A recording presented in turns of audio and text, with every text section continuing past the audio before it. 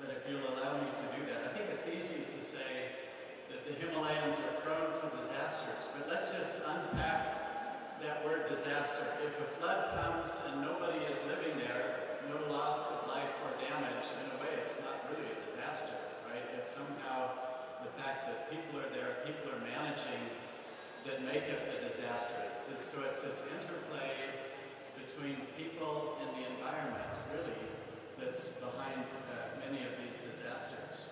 So if we look at some of the characteristics of uh, some statistics about disasters, it is a place. And, and when I talk the region, it's our eight different countries at ICIMOD, but we have about 76 disasters in a year, about 36,000 people are killed, and over a million people are affected somehow by disasters every year. So it is quite something we have to pay attention to.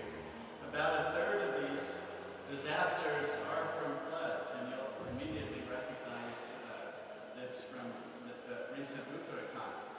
But it's also flooding that crosses borders, so transboundary issues. The mountains and the rivers coming from the mountains typically cross uh, several national boundaries. So it's something we have to work together to deal with. Let me just uh, emphasize that there are many different kinds of floods, and each one of them has a little bit different remedy or different things to think about. And two broad kinds of flooding are the big riverine floods, where the rivers swell up and overtop their banks, versus more flash floods. And uh, these are caused uh, from up in the hills from a rapid rainfall, uh, from glacier lake outbursts, from cloudbursts that give an intense rainfall. Also, it's something we don't think about too much of these landslide dam outburst floods. So these are actually quite common. We hear a lot about GLOFs. It's actually a lot of times that landslides come down and block the river, the dam breaches, and it causes intense flooding. But each we need to think differently about these two different kinds of floodings. So if we think again about water-related disasters, and this is a striking graph that shows that in Asia, when we get a flood, indeed many, many people, a large percentage of the is, is killed. Uh, and the second graph is showing that that's especially true in flash floods as opposed to the big riverine floods. So the blue line is telling us the mortality in flash floods is quite high. So it's something we have to pay attention to, these flash floods as well. An important point are that these floods are very often transboundary floods, especially the big riverine floods, but not only that, many of the flash floods as well, and I'll get into that. Uh, so what we have to do is work together across borders to deal with these flooding issues. Right now, the situation is that there's a lack of exchange of real-time data. we could be doing better with it that uh, we're not, there's different countries have different skill base. India quite, has a quite strong skill base in floods. That's not true of all the countries in the region. Uh, we have some bilateral agreements and some treaties, but probably need more. And there is a, a door open for much more regional cooperation in floods. If we look at this statistic, on the left side it says uh, about nine, say about 10% of the floods are transboundary in nature. But if you look at the third column over at displaced, what it's telling us that over 60% of the where people get displaced happens in these transboundary floods. By the way, one message to give is that uh, the casualties, the loss of life and damage really does not need to occur if we can manage this much better. And what I'd like to do is get into that. And I think it's something we really need to, to uh, focus on. It's not a matter of fate to where we're unlucky with climate change and cloudbursts. It's really how people manage the situation that can, can really relieve the situation much better. Let me give an example between China and India. This is the year 2000. This was one of those landslide floods that actually blocked the river. And then when the dam got overtopped, there was a huge flood that came down the Yarlung Tsangpo or the Brahmaputra River. Uh, it caused uh, extensive damage, but no casualties in China. Basically, probably less people living there, but heavy casualties in India. Over 30 people dead, many, many homeless, millions of dollars of rupees worth of damage. The happy news that people did something about it. In 2002, there was a data sharing agreement between India and China. Uh, and in 2004, a similar event happened where the Parichu River in Tibet was blocked. Huge volume of water came down, but the Chinese communicated that event with their Indian counterparts. And uh, 56 villages along the river were at risk. The dam broke out in 2005. There was a big damage again of property, but there were no human casualties. So somehow people responded, did something about it across borders. So very, very important uh, lesson to be learned there. Another flood in recent years is the Koshi Barrage. Now one way, it used to be in the past, one thing people did with floods is wouldn't build your house so close to the river. Also build your house on stilts, right? So when the flood comes, basically you're up high. What we've done in modern times is decided that the dikes are the way to go with floods. And, and they, if well maintained and managed, it's an effective measure. People get relaxed. They get a sense that things are okay if you have those dikes. But believe me, if we don't really maintain and repair dikes, even in a simple river, and I mean, this was not a tremendously high water event. We had huge floods, and the, the diagram on the left, it's hard to see, the river is here, the dike burst, and the whole river was diverted across the floodplain, causing tremendous damage. But the me message here, better maintenance, better planning, perhaps even better ways of thinking through flooding could really make a difference. So some of the lessons from the previous floods are we do have huge data gaps. We're missing those communication systems, those flood systems that could really help us out. We can do better in flood infrastructure and planning. And there is a need for transboundary cooperation to deal with many of these flood events. So what do we do? What are some of the challenges and solution? The first is to immediately fill some data gaps. Now what this is showing on the bottom is the elevation, right? So at low elevation, that's the tall red graph, we have plenty of data stations. But when we get higher and higher up in the mountains, three to four kilometers, four to five kilometers, five to six kilometers, two weather stations, six to seven kilometers, 6,000 to 7,000 meters, zero. A lot of the rainfall happens up high. We don't know what's happening in the mountains, right? We don't have that information. We need to get weather stations up high in the mountains. And it's more difficult in that mountainous terrain really to, to uh, tell what's happening in the weather. There are some high-tech solutions.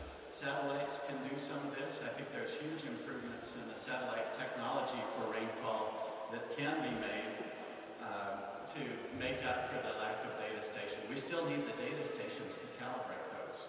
This is, uh, if we look back, right, at the satellite estimations, what happened in Uttarakhand.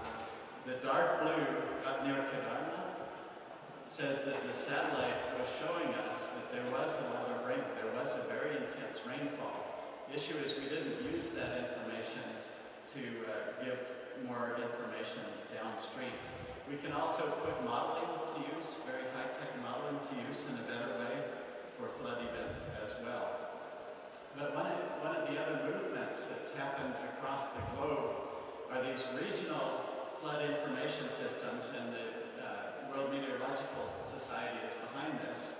There is one for the HKH, the Himalayan Hindu Kush region, that we can take better advantage of, where we can share information across borders. And there is the HKH HYCOS, and, and right now several countries, and India is an observer to this operation, is trying to set up an end-to-end system where we can share data and get that data moving across borders faster than floods is the motto there. We can draw lessons. The Mekong region is also an area where many countries have a stake.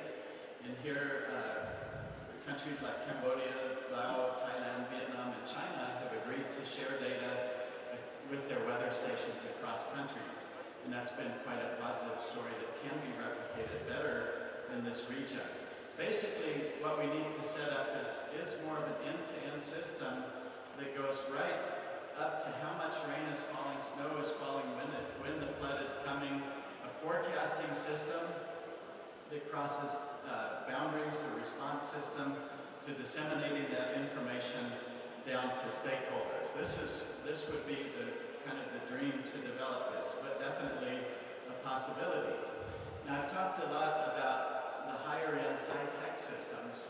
Oftentimes that doesn't help us for the real localized flash floods. And there there's a different kind of solution, and we can employ, in fact, some almost homemade gadgets to help us out. And so this picture is something of a, device that simply detects the water level in a stream. When the water level goes up, it sends off a signal to an alarm, beep, beep, beep, beep. It can also send signals to a phone, telephone system, and lives can be saved with this type of system. We're trying this out in many places, including uh, in Assam.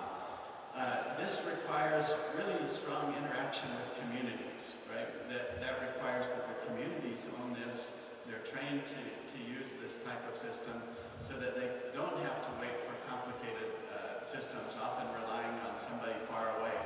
So this is something we also need hand in hand to go for.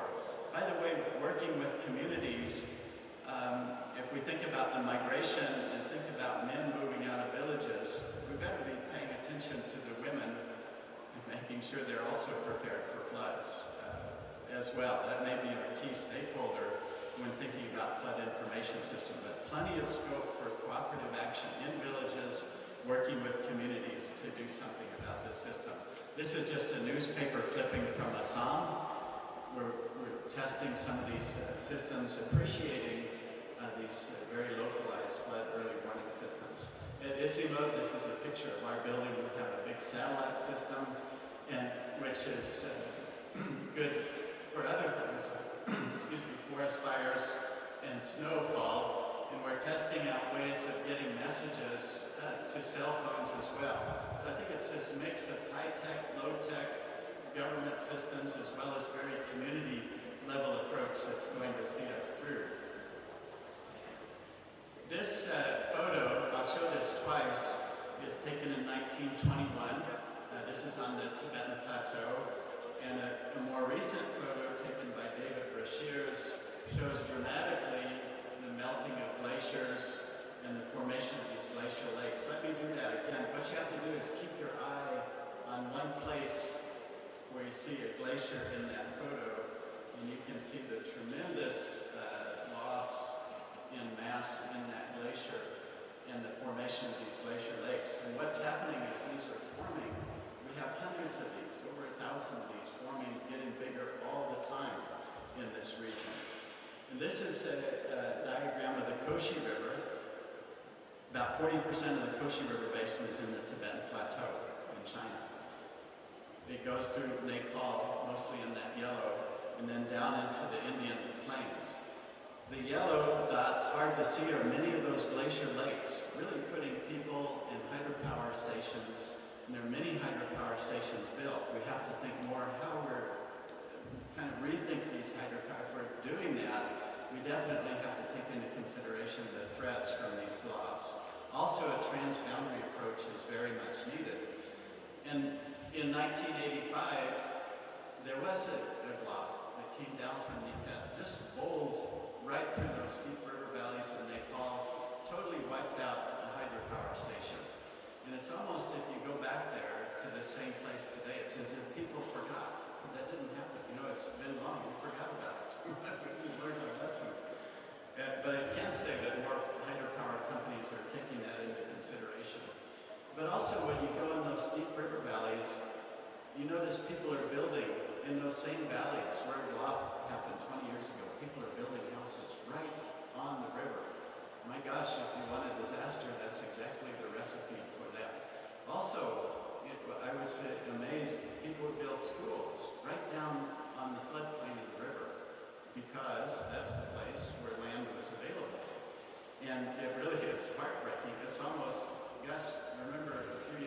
turns out more different people are moving into the communities, but it's how we plan and build our infrastructure that is putting together the recipe for disaster. It's something definitely to talk about. So what I'd like to do is to conclude with a few points. It is possible to build these kind of end-to-end systems. Uh, I think it, it's, uh, it is possible, and what we need to do is definitely link science with government and communities together. We could do much better with our infrastructure planning and management and that has to be very mountain